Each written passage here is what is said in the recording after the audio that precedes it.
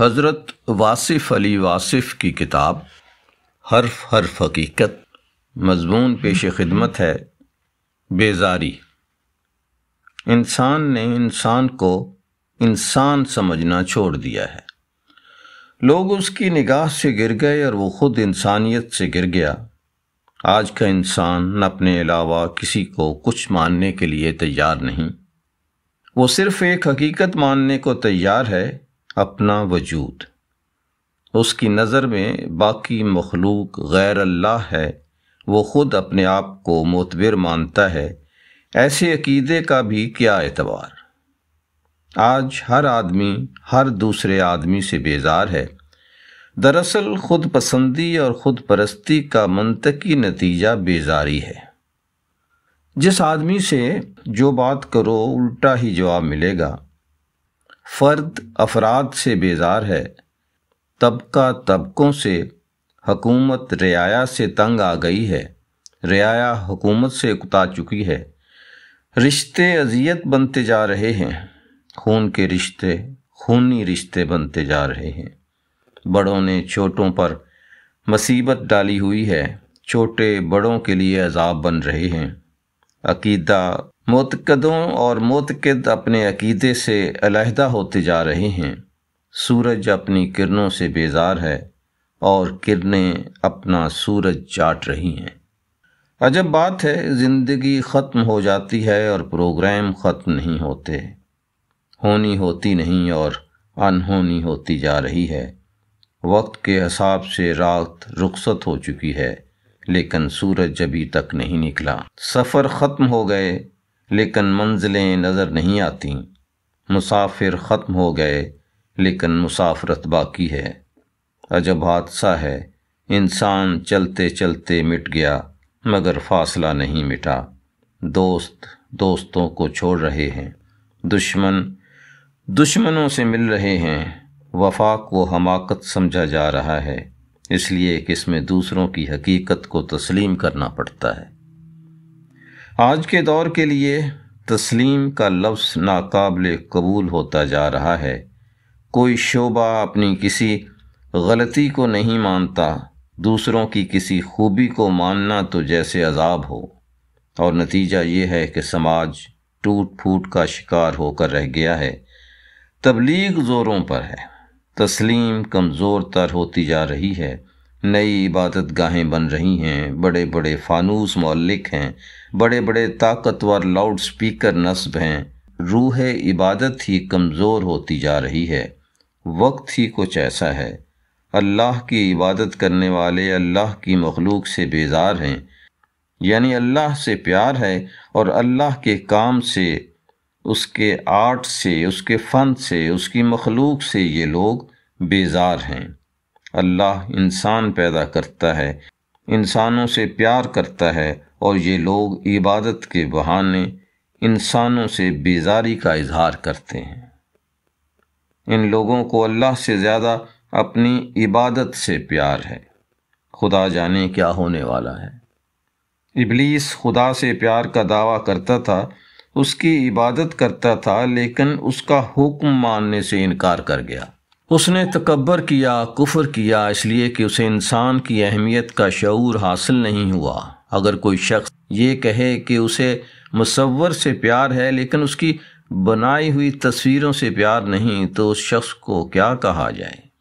ये कायनात, उसकी तमाम रानाइयाँ, उसके चाँद, सितारे, सूरज, पहाड़, मैदान, दरिया, समंदर, बादल इंसान, हैवान, चिरिंद परिंद, ज़ाहिर, मख्फी, मखलूक। उसके जमादात, नबातात सब खल्क का अमल है और खालिक का हर अमल खालिक की तरह मोहतरम और मुज्ज़ है। अकीदे और एतक़ादात इंसानों को मज़ीद इंसान बनाने में काम आते हैं, लेकिन इंसान होना शर्त है। हम शायद इंसान होने से, इंसान बने रहने से बेजार हैं। हम हर चीज़ से बेजार हैं। हम एक दूसरे से बेजार हैं। हमारे पास ना तलाश है, ना हासिल। ये बेजारी इंसान की रूह तक का पहुँची है और यही माशरों की तबाही का बायस है। इस बेजारी की वजह से हर आदमी एक खौफनाक तन्हाई का शिकार है। एक दूर तक फैले हुए सहरा में तन्हा मुसाफर की तन्हा रात की तरह। हम जब तक दूसरों को कबूल नहीं करते, उनका एहतराम नहीं करते, उनको खालिक की मखलूक के तौर पर इज़्ज़त से नहीं देखते, तब तक हमें बात समझ में नहीं आ सकती। आज की बेजारी का ये आलम है कि एक आदमी ने दूसरे से पूछा, भाई, तुमने वो कहानी सुनी है? दूसरे ने बेजार होकर जवाब दिया, नहीं, मैंने दूसरी कहानी सुनी और यूँ बात को वहीं दफन कर दिया। किसी ज़माने में लोग मौसम का हाल बयान करके एक दूसरे के हालात जान लेते थे। एक दूसरे से तारफ़ करते थे, एक दूसरे के करीब हो जाते थे। लेकिन आज कोई इंसान किसी इंसान के करीब आना चाहे तो यूँ महसूस होता है जैसे ख़तरा ख़तरे के करीब आ रहा है। उस्ताद शागिर्दों से बेजार हैं और शागिर्द इस से।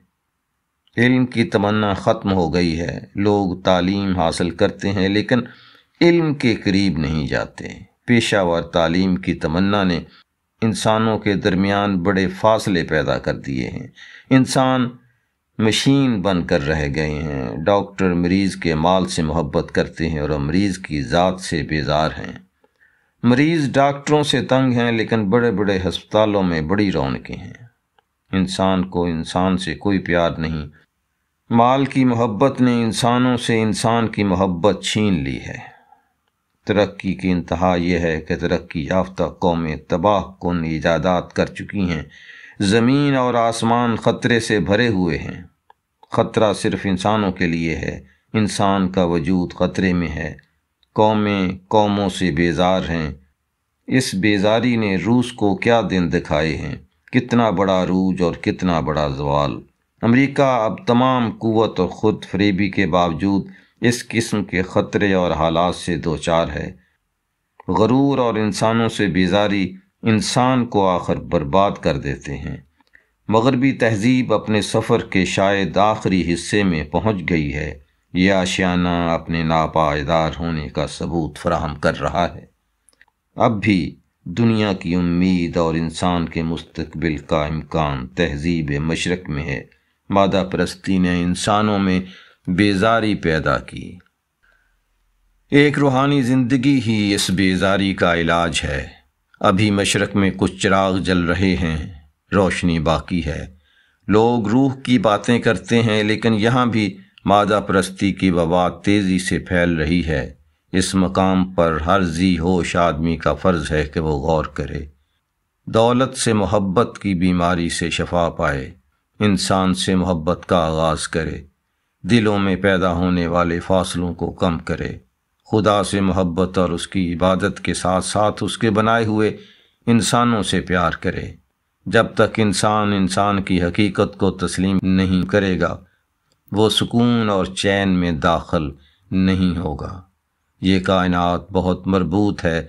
अल्लाह ने एक इंसान को आँख अता की है तो दूसरे को खूबसूरत चेहरा अता फरमाया है। जब तक ये दोनों हकीकतें एक दूसरे के करीब ना हों, जलवा पैदा नहीं होता। बस आईना, आईने के सामने हो तो नज़ारा मिलता है। उसने तख्लीक ये है कि क़वत समात मोहताज है क़वत गोयाई की।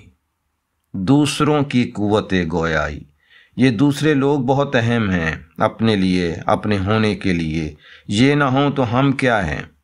जानने वाले बुज़ुर्ग कहते हैं कि आजकल आलम यह है कि कुफर भी अपनी सदाकत छोड़ चुका है, इसलिए इस्लाम में भी वो जज्बा नहीं पैदा हो रहा। अपने अपने मकाम पर हर चीज़ बदलती जा रही है। तामीर अपनी बुनियादों से बाहर होती जा रही है। नतीजा साफ़ है। इस बेजारी को दूर करने का तरीका सवाए एहतराम आदमियत के और क्या हो सकता है? जो लोग खुदा से मोहब्बत का दावा करते हैं और मखलूक खुदा से बेजार हैं, इन लोगों ने इस बीमारी का आगाज़ किया है।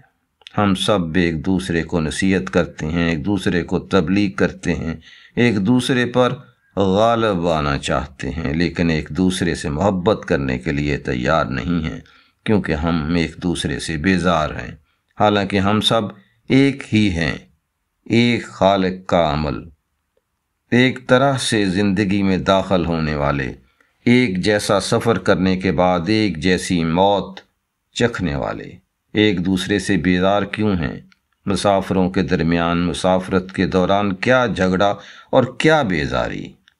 अपने दीन और अपने अकीदे पर चलते जाएँ और इस आदत से महरूम होने वालों की खिदमत करते जाएँ तो शायद एक अच्छा वक्त करीब आ जाए। एक दफ़ा जब हजूर अक्रम सल्लल्लाहु वसल्लम लोगों को वजाहत फरमा रहे थे कि भूखों को खाना खिलाने की क्या अहमियत है तो एक सहाबी ने अर्ज़ किया, या रसूल अलैहि वसल्लम, क्या गैर मुस्लिम को भी खाना खिलाना सवाब का बायस है? आप सल्लल्लाहु अलैहि वसल्लम ने सख्ती से फरमाया, भूखे इंसान को खाना खिलाना है तो भूखा तो बस भूखा ही है।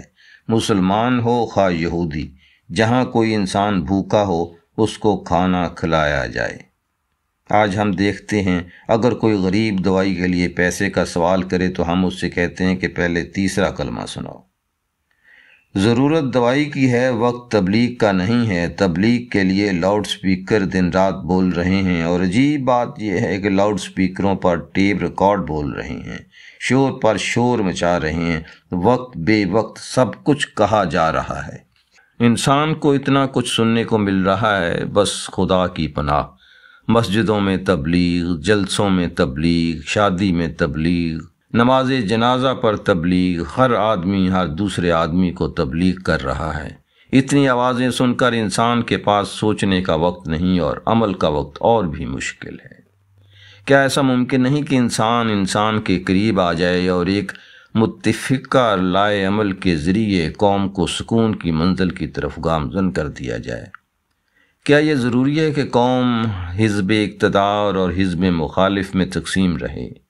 क्या यह ज़रूरी है कि जिंदाबाद और मुर्दाबाद के अलावा और कुछ ना किया जाए? क्या बेजारी से बचत की कोई राह नहीं? यही वक्त दुआ है कि अय अल्लाह, हम सब पर रहम फरमा, हमें खुद पसंदी के अजाब से बचा। अय अल्लाह, तू हर लिहाज से अपनी कुदरतों समेत अकमल व आला है। तेरी बनाई हुई हर चीज़ एक मसलहत रखती है और सबसे खूबसूरत मखलूक इंसान है। अय अल्लाह हमें इंसानों की इज़्ज़त की तोफ़ी अता फरमा। हमें दूसरों की हकीकत मानने का जज्बा दे। जो लोग मेरे एतकाद पर नहीं चलते, वो एक अपनी हकीकत रखते हैं। इस हकीकत को समझने की तौफीक दे। जो लोग हमारे ख़िलाफ़ बोलते हैं, उनकी बात तहमल से सुनने का हौसला अता फरमा। और जो एक अच्छे वक्त के इंतज़ार में बैठे हैं, उनके हुसन इंतज़ार को एक कामयाब मंजिल अता फरमा। वो दौर नसीब कर दे, हम तेरी इबादत करें और तेरे बंदों से मोहब्बत। सूरज अपनी किरणों से बेजार ना हो और किरणें अपने सूरज को चाट ना लें। लोग जिस दरख्त के साय में बैठे हैं, उसका साया चुरा कर गायब ना हो जाएँ। मरवत और मोहब्बत के ज़माने नाजल फरमा। हमें माल, शहरत और इकतदार के नशे की बजाय सुकून मरवत मोहब्बत और ख़िदमात के जज्बे से नवाज़ दे। आमीन। अजहर न्याज को इजाज़त दीजिए। अल्लाह हाफिज़।